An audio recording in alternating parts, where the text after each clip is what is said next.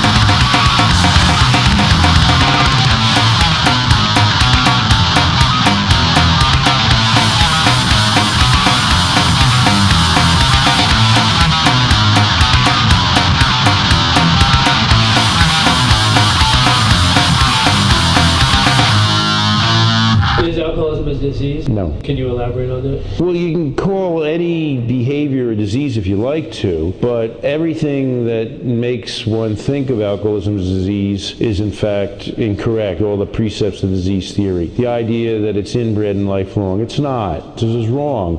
External factors, your cultural background, your social group, uh, your s- stress levels in life, all have a tremendous impact on problem drinking and alcoholism. The idea that it doesn't bear any relationship to your social class is wrong. In fact, in the United States, the higher your social class, the more likely you are to drink, but the less likely you are to have a drinking problem. So much information about people, their lives, their backgrounds, in order to shoehorn alcoholism into the disease category, that it's totally unscientific and dysfunctional to try to do so.